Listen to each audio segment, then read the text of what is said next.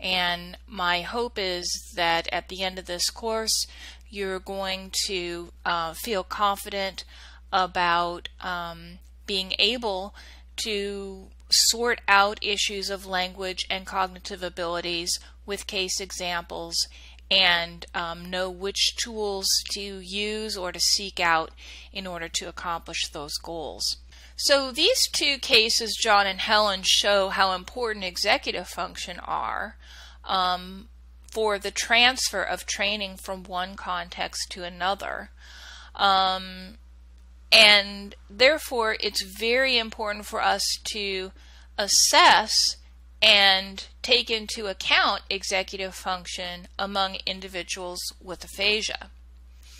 Um, and then just another thing we are starting to know a little bit more about, it may be that for individuals with aphasia who have lower executive function, they may require more practice, uh, more treatment in order to master a strategy uh, and be able to use it, uh, just as in the example of John and Helen.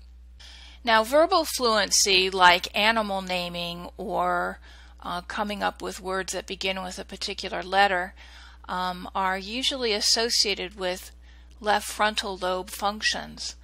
And design fluency um, has is usually considered the right hemisphere homologue of verbal fluency. So uh, another nice feature of the Cognitive Linguistic Quick Test is that it does include a design fluency uh, measure or task as well.